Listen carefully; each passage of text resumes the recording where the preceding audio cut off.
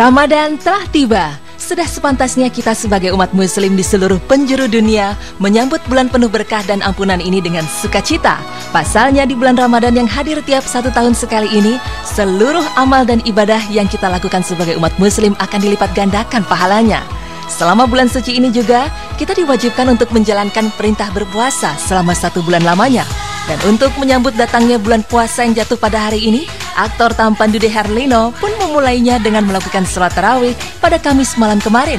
Tim Insert memiliki kesempatan untuk melihat lebih dekat kegiatan pria kelahiran 2 Desember 1980 tersebut seperti berikut ini. Assalamualaikum warahmatullahi wabarakatuh, pemirsa Insert. Saya uh, sebentar lagi akan berangkat ke masjid untuk sholat tarawih ini ada malam pertama di bulan suci Ramadan dan ini adalah eh, uh, sholat tarawih pertama di bulan puasa tahun ini. Uh, saya akan sholat di masjid, istri di rumah sambil menjaga anak. Kita ikuti sama-sama bagaimana keadaan sholat tarawih di malam pertama di bulan suci Ramadan ini. Mari. Senyumlah hari ini esok seterusnya Buat hidup bermakna sambutlah indahnya hari-hari الله أكبر لا إله إلا الله الله أكبر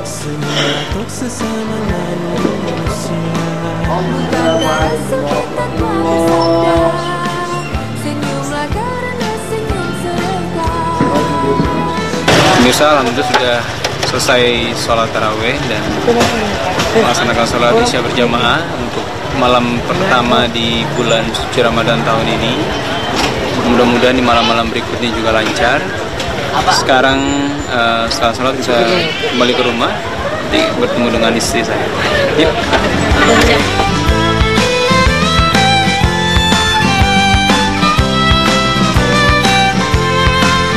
Dari tahun pertama sudah sangat bersyukur lah karena tahun pertama kita menikah bulan puasa itu sudah hamil. Iya bulan ke uh, minggu kelima minggu, kelima, kelima kehamilan bulan puasa tahun ini sudah ada Rendra. Jadi uh, rasanya tuh lebih lengkap lah sebagai sebagai satu keluarga dan tapi di sisi lain saya bertambah tugas baru jadi ayah berarti.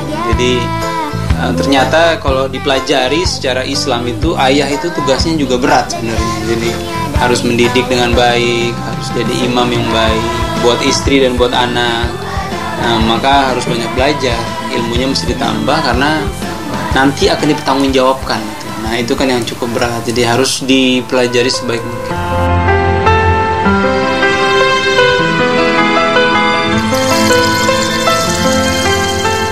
Ini merupakan kali kedua pasangan yang menikah pada 22 Maret 2014 silam menyambut datangnya bulan suci Ramadan. Pada tahun pertama, Duda dan Ica menikmati bulan penuh berkah ini di saat Ica tengah hamil muda. Dan untuk tahun ini dirasakan berbeda bagi keduanya lantaran mereka telah ditemani oleh sang malaikat kecil yang bernama Muhammad Dirgantara Ariendra Harlino, buah cinta mereka.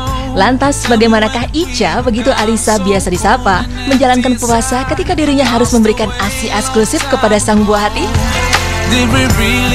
Nah, uh, itu sih masih dilihat ya kondisinya gitu karena kan nggak tahu nih nanti uh, ke depannya gimana. Cuman memang kalau misalnya ternyata nanti di saat uh, Ica melaksanakan ibadah puasa tapi ternyata asinya berkurang ya mungkin Ica akan menggantinya dengan membayar vidya gitu. Tapi Ica akan melihat lagi kondisinya. Kalau misalnya bisa menjalankan keduanya ya alhamdulillah. Untuk si asinya berkurang harus buka. Karena kan bagaimanapun anak kan masih asi eksklusif gitu.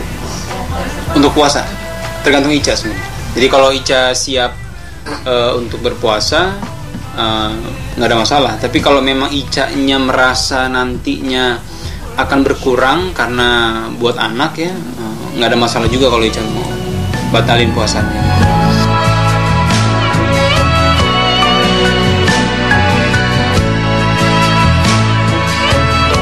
Dude dan Ica sepertinya begitu menikmati datangnya bulan Ramadan untuk tahun ini. Bagaimana tidak, selain banjirnya tawaran pekerjaan di bulan suci ini, keduanya pun ingin banyak melakukan hal-hal yang positif seperti membaca ayat-ayat suci Al-Quran hingga menghatamkannya, mendengarkan ceramah dari alim ulama, dan berkumpul bersama teman-teman untuk melakukan kegiatan yang bermanfaat bagi orang banyak. Pasangan ini juga merasakan sukacita dikarenakan di bulan inilah mereka ditemani oleh kehadiran sang buah hati yang saat ini tengah menginjak usia 4 bulan. Lalu bagaimanakah perkembangan sang buah hati mereka? Benarkah hari-hari pasangan ini begitu sempurna dengan hadirnya Ariendra? Satu wajah penuh cinta, penuh kasih.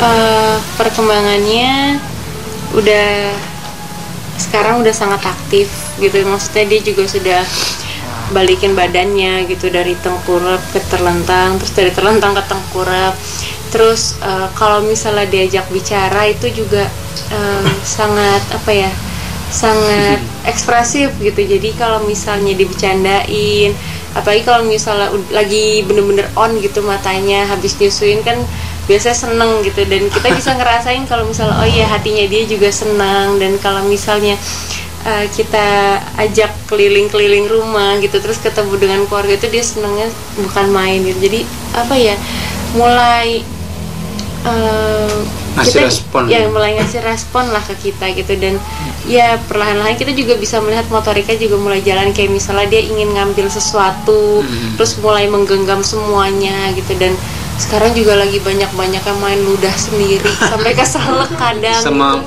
masukin Sama tangan masukin ke tangan, mulut, tapi iya. untungnya bukan jempolnya gitu jadi bener-bener masukin semua tangannya sampai basah kadang sampai baju basah gitu Lantas adakah menu favorit yang wajib disiapkan Ica sebagai istri untuk Dude ketika sahur dan berbuka? untungnya sih Kak Dede tidak pernah meminta apa-apa ya. Maksudnya dari Ramadan tahun lalu sampai yang sekarang pun juga tidak ada permintaan apa-apa gitu. Dan sangat mengerti kondisinya karena kan juga ada anak gitu. Dia menyusui sekitar 2-3 jam sekali gitu. Jadi eh, nggak ada menu khusus atau gimana gitu karena yang memang harus penting. Eh, enggak lah. Eh, seininya Ica aja. Se sebisanya Ica. Sesempatnya Ica. Karena saya mengamati Ica merawat anak juga sebenarnya makan waktu yang cukup banyak kan. Dan eh, menyusuinya juga eh, butuh tenaga ekstra buat Ica sebenarnya. Bangun tengah malam segala macam. Jadi buat saya apa pun yang Ica siapkan itu saya makan itu jadi saya nggak mengharuskan ini itu kalau saya mau kan Ica mau kita bisa telepon delivery datang ke rumah